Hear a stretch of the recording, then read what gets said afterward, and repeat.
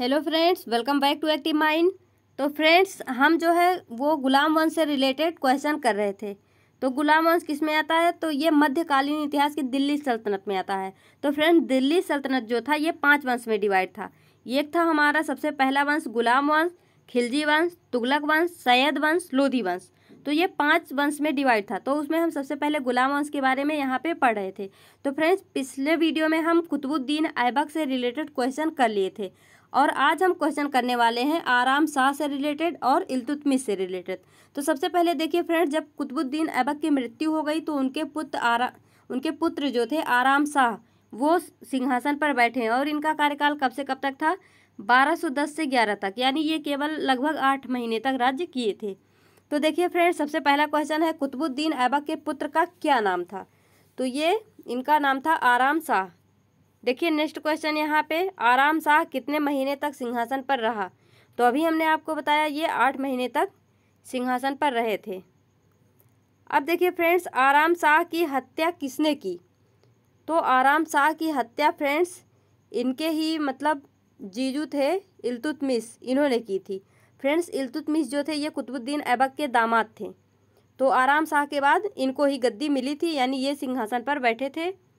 तो अब देखिए यहाँ से उनके जो है आराम शाह की मृत्यु के बाद इल्तुतमिश का स्टार्ट होता है मतलब इनका राज्य स्टार्ट होता है।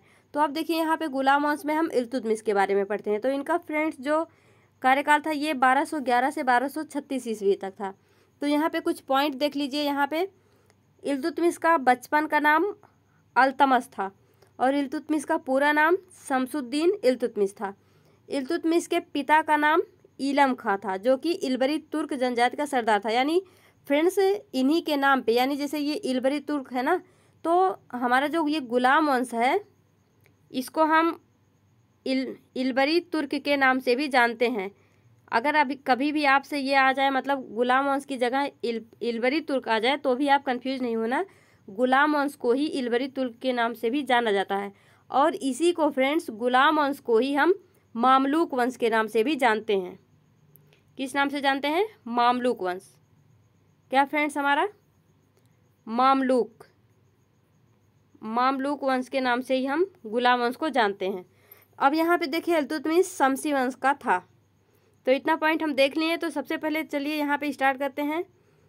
आ, सुल्तान बनने से पूर्व इल्तुतमिश कहाँ का सूबेदार था? तो ये फ्रेंड्स बदायूं के सूबेदार थे। नेक्स्ट देखिए इल्तुतमिश कब गद्दी पर बैठा? तो अभी हमने देखा उनका कार्यकाल बारह सौ ग्यारह ईस्वी से बारह सौ छत्तीस ईस्वी तक था।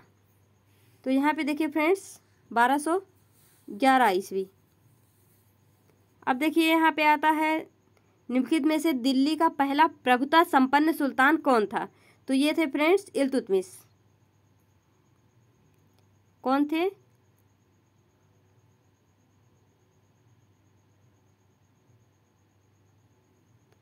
ये थे फ्रेंड्स, इल्तुतमिश।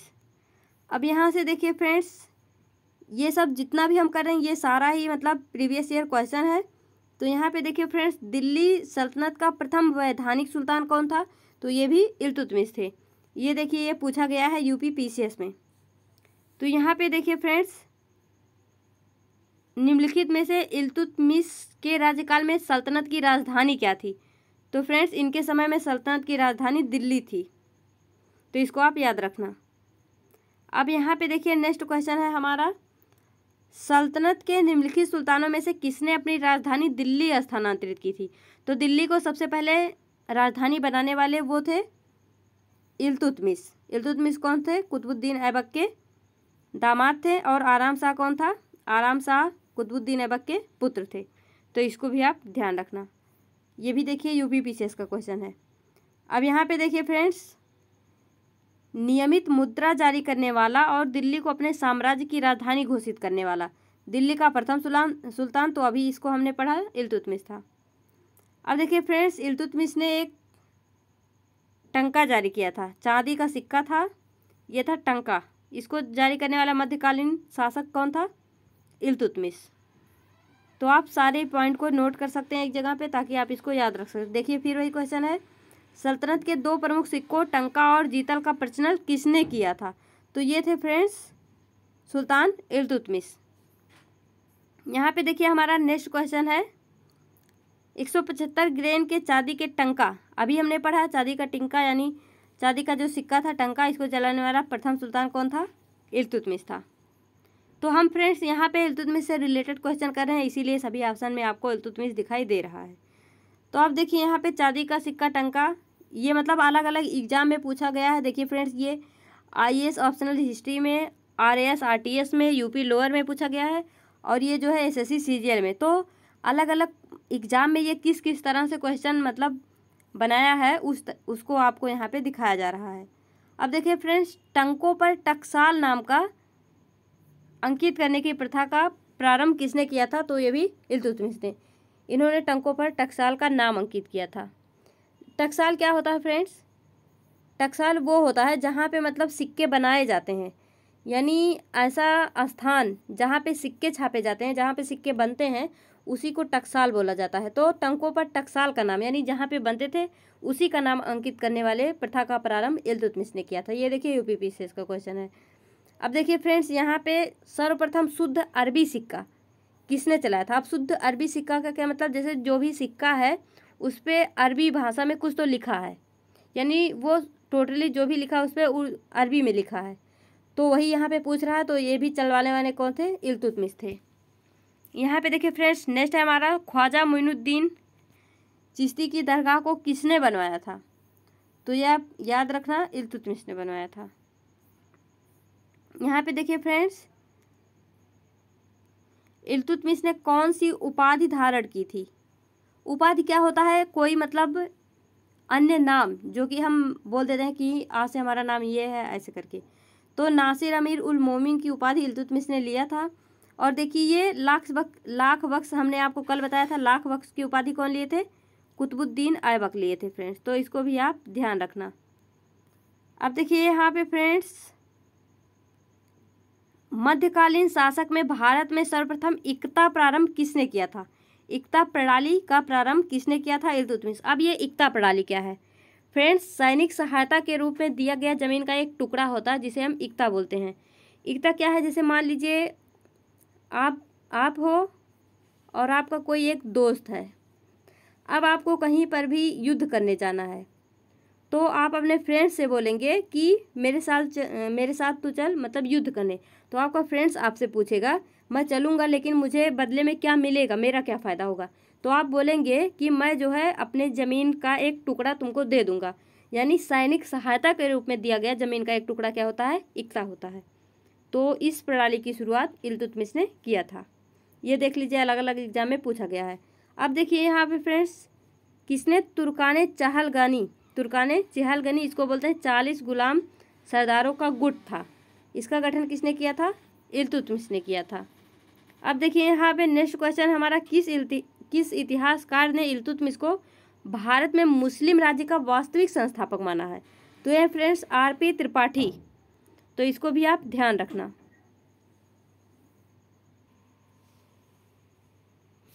तो देखिए फ्रेंड्स नेक्स्ट क्वेश्चन है हमारा। किस इत, किस इतिहासकार ने सुल्तानों में लिखा है कि इल्तुतमिश सभी गुलाम में महान था? तो ये किसने कहा है? सॉरी फ्रेंड्स ये कहा है बुलजले हेग ने। किसने कहा है? बुलजले हेग ने। अब देखिए यहाँ पे फ्रेंड्स एक क्वेश्चन है कि सुल्तानों में से ये जो नीचे सुल्तान दिए गए हैं इसमें से इल्तुतमिश की संतान नहीं था। इसमें से कौन था जो इल्तुतमिश का संतान नहीं था? तो इसमें जो है फ्रेंड्स ये नसरुद्दीन महमूद जो है ये इल्तुतमिश का सुल्तान नहीं था, बल्कि उनके वंश का एक अंतिम उत्तराधिकारी उत्तराधिकारी था, यानी इल्तुतमिश के बाद इसने ही शासन किया था। सॉरी फ्रेंड्स ये उनका उत्तराधिकारी था, अंतिम उत्तराधिकारी।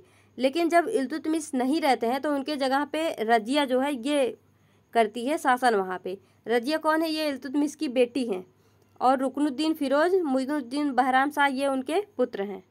तो इसको आप ध्यान रखना। अब देखिए, यहाँ पे एक क्वेश्चन है कि भारत अरब नहीं है, इसे दारुल इस्लाम में परिवर्तित करना व्यवहारिक रूप से संभव नहीं है। यह कथन किससे जुड़ा है? ये किसने बोला था? इल्तुतमिश ने। अब देखिए, दिल्ली का कौन सुल्तान मंगोल नेता चंगेज खान का समकालीन था? तो ये इल्तुतमिश। अब यहाँ पे नेक्स्ट देख लीजिए फ्रेंड्स चंगेज खान के नेतृत्व में मंगोलों ने भारत में किसके समय में आक्रमण किया था? तो ये था फ्रेंड्स इल्तुतमिश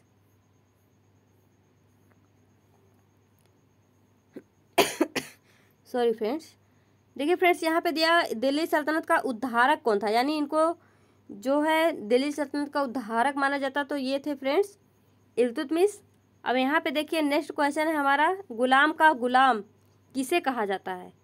अब यहाँ पे इनको गुलाम का गुलाम क्यों बोला जाता है? ये तो खैर इल्तुतमिश थे। लेकिन यहाँ पे देखिए फ्रेंड्स सबसे पहले जो कुतुबुद्दीन ऐबक थे वो मोहम्मद गोरी के गुलाम थे। मोहम्मद गोरी के गुलाम कौन थे? कुतुबुद्दीन ऐबक थे। फिर कुतुबुद्दीन ऐबक के गुलाम कौन थे? इल्तुतमिश थे। तो ये इनके गुलाम हुए। फिर ये इनके गुलाम हुए। यानी गुलाम का गुलाम कौन हो गया? इल्तुतमिश। इसीलिए इनको गुलाम का गुलाम कहा जाता है, क्योंकि ये जो कुतुबुद्दीन ऐबक थे वो मोहम्मद गोरी के गुलाम थे और फिर ये इल्तुतमिश जो थे, ये कुतुबुद्दीन ऐबक के गुलाम थे। इसीलिए इनको गुलाम का गुलाम कहा जाता है। अब देखिए फ्रेंड्स, प्रथम इलवरी शासक कौन था? इलवरी शासक क्यों? क्योंकि इनके पता, पिता जो है वो इलवरी तुर्क से बिलोंग करते थे। इसीलिए इनको प्रथम इलवरी शासक माना जाता है। यानी वही गुलाम वंश का शासक या इलबरी तुर्क बोलिए या फिर आप मामलुक वंश बोलिए। तीनों नाम सेम है। अब यहाँ पे देखिए फ्रेंड्स सुल्तान इल्तुतमिश के शासनकाल में न्याय चाहने वाले व्यक्ति को क्या पहनना पड़ता था? वो था लाल वस्त्र, जो कि फ्रेंड्स रजिया ने भी लाल वस्त्र पहन के ही न्याय मांगा था। तो इसको आप ध्यान रखें, यहाँ पे देखिए, कुतुब मीनार किस प्रसिद्ध शासक ने पूरा किया था। अब इसका कॉन्सेप्ट समझिए। इसको हमने आपको पिछले वीडियो में भी बताया था, जो हमारा कुतुब मीनार है फ्रेंड्स, वो पाँच मन, पाँच मंजिला इमारत है। ये। ऐसे करके ये पाँच मंजिल है फ्रेंड्स। तो यहाँ पे देखिए ये जो इसका फ़र्स्ट है, ये कुतुबुद्दीन ऐबक ने बनवाया था। और ये सेकेंड से सेकेंड थर्ड फोर्थ ये किसने बनवाया था? इल्तुतमिश ने बनवाया था। यानी इसका निर्माण किसने पूरा किया? इल्तुतमिश ने। लेकिन अगर आपसे पूछे इसका पुनर्निर्माण किसने कराया? यहाँ पे एक बार ये टूट गया था थोड़ा सा। तो इसका पुनर्निर्माण कराया था फिरोज शाह तुगलक ने। फिरोज शाह तुगलक ने। तो इसको आप ध्यान रखना ये पॉइंट कुतुब मीनार के बारे में। तो यहाँ पे पूछा, किस प्रसिद्ध शासक ने पूरा किया था? तो पूरा किया था इल्तुतमिश ने। और स्टार्ट किसने किया था? कुतुबुद्दीन ऐबक ने। पुनर्निर्माण किसने कराया? फिरोज शाह तुगलक ने। अब यहाँ पे देखिए, किस सुल्तान ने मिनहाज और इसामी जैसे विद्वानों को राजस्व दिया? तो ये थे फ्रेंड्स, कुतुबुद्दीन ऐबक ने दिया था मिनहाज और इसामी जैसे विद्वान को राजाश्रय अब यहाँ पे देखिए, मिनहाज उस सिराज किन शासकों का समकालीन था। तो ये फ्रेंड्स दास वंश, यानी जिसको दास मीन्स क्या होता है? गुलाम। यानी दास वंश या गुलाम वंश या मामलुक वंश या इलवरी तुर्क। तो आप सारा इनाम ध्यान रखना, इसलिए मैं आपको बार बार बता रही हूँ ताकि आप इसे भूल लेना। अब यहाँ पे देखिए फ्रेंड्स नेक्स्ट हमारा, तबकात ए नसीरी के लेखक कौन है? तबकात ए नसीरी, इसके लेखक कौन है? मिनहाज उर सिराज, मिनहाज उस सिराज। जो ये किसके संरक्षण में थे? कुत सॉरी फ्रेंड्स कुतुबुद्दीन ऐबक के संरक्षण में। मिनहाज उस सिराज, इनकी पुस्तक कौन है? तबकात ए नसीरी। तो ये देखिए अलग अलग एग्ज़ाम में ये पूछा हुआ है तो इस, ये बहुत ही इंपॉर्टेंट है, इसको आप ध्यान रखना। अब देखिए फ्रेंड्स, किस ईस्वी को बानियान जाते समय इल्तुतमिश की मृत्यु हो गई थी?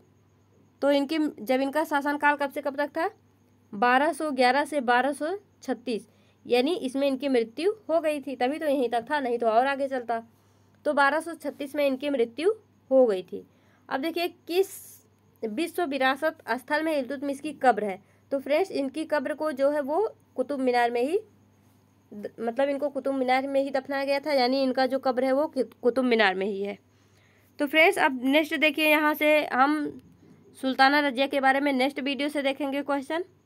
तो इस वीडियो में फ्रेंड्स, यहीं तक। तब तक के लिए ऑल द बेस्ट मिलेंगे अपने नेक्स्ट वीडियो में। Be happy be